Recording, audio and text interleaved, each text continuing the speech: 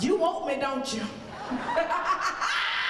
he looked at me like, no, girl, you big. I'm not big, son. I'm just fluffy, okay?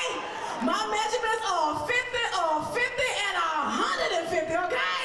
But I'm so honored to be here. Listen, David told me he was going to pick me up in a limousine.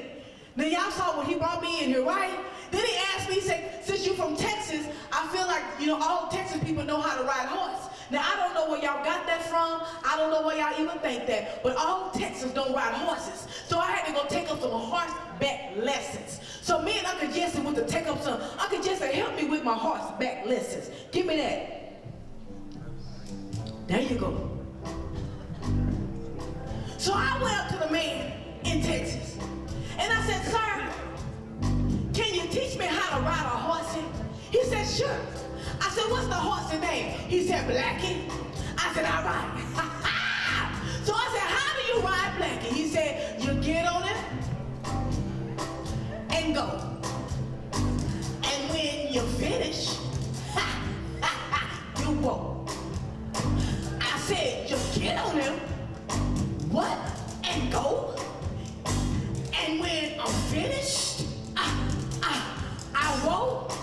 So y'all, I hopped on it.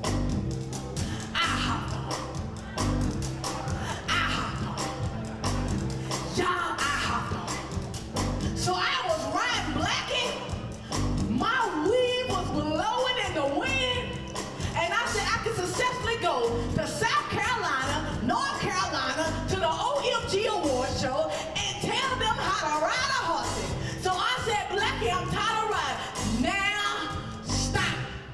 Blackie got faster.